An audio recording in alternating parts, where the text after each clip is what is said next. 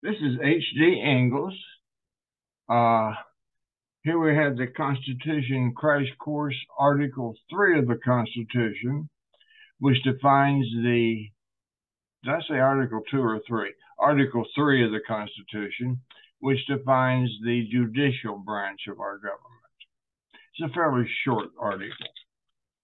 Section 1 there will be a Supreme Court.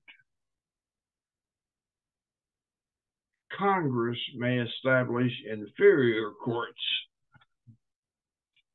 Judges will hold their office for life unless impeached, and they will be compensated.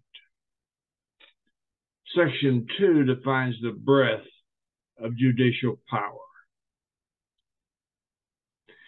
It defines when the Supreme Court has original jurisdiction and when it has appellate jurisdiction.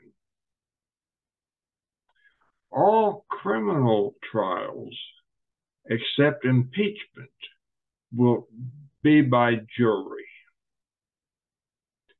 Trials will be held in the state where the crime was committed. If the crime was not committed in a state, Congress determines the location of the trial. Section 3 defines treason and the requirements of conviction. And Congress has the power to declare punishment for treason. Told you it was a short one. That's the end of Article 3. Uh, Thank you for watching.